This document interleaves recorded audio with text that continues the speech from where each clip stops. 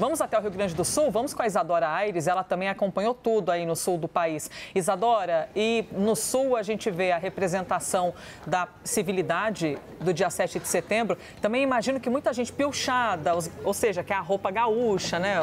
Os homens piochados, as mulheres também tomando um bom chimarrão, hein, nesse 7 de setembro.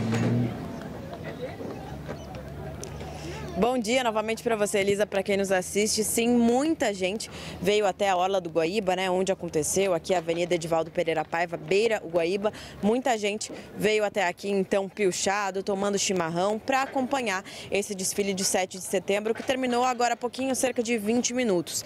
Agora, o Exército já está desmontando aqui a estrutura para que o trânsito possa voltar ao normal, que ainda não voltou aqui na Avenida Edivaldo Pereira Paiva. Esse desfile, ele contou com cerca cerca de 5 mil pessoas entre civis e militares. Começou às 10 da manhã aqui em Porto Alegre.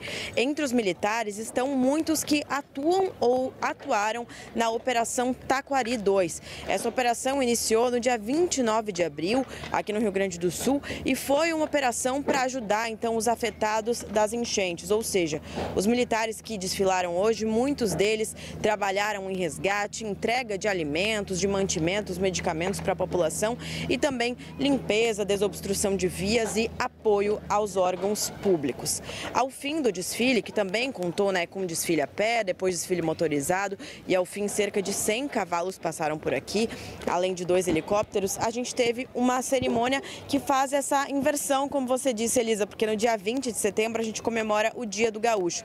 Aqui estava o fogo simbólico da pátria. Ao fim do desfile, quando o desfile acabou, o movimento tradicionalista gaúcho, então, se apossou desse fogo simbólico que se tornou a chama crioula. Depois disso, então, esse fogo está sendo levado agora para o Parque Harmonia, o local onde acontecem as comemorações do dia 20 de setembro, o dia que a gente comemora aqui no Rio Grande do Sul, a Revolução Farroupilha, Dia do Gaúcho. Então, daqui a pouquinho, em poucos dias, tem um novo desfile por aqui, Elisa. Muito obrigada, Isadora Aires, que está acompanhando tudo que ocorre ali em Porto Alegre. Olha lá, a galera andando de bicicleta, curtindo um pouco também esse sábado que é de passeio, família, amigos. Só a galera também sozinha, curtindo um pouquinho esse céu. Vou